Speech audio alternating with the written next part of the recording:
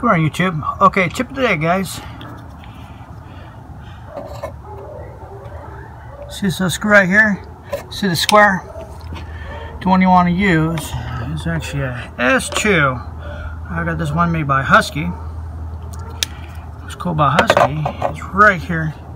See 14 to 16? Get little strippers in there. Put the wire in there, push down, pull, strips them right out. So what you do is you stick this right in here and unscrews. Screws right out.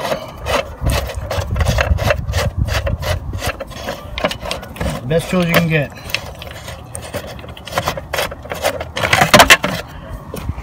Just like that. Like and subscribe. See you on the next one.